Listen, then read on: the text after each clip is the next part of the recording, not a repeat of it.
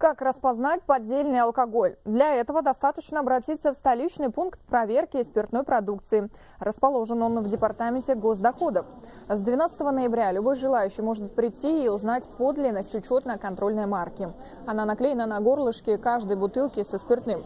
Процедура проверки занимает около 10 минут. Если тестирование покажет, что алкоголь не зарегистрирован, то клиент может оставить его для дальнейшего изучения. Напомню, со 2 апреля в стране введен мораторий на проверки субъектов МСБ, поэтому подобные пункты помогают не допускать нелегального оборота спиртного.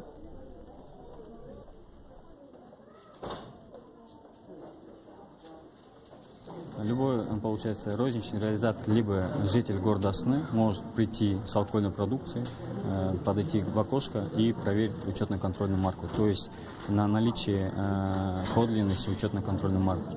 Э, процедура проходит как? С помощью сканера специалист сканирует штрих-код, где, где содержится вся информация о производителе и о продукции.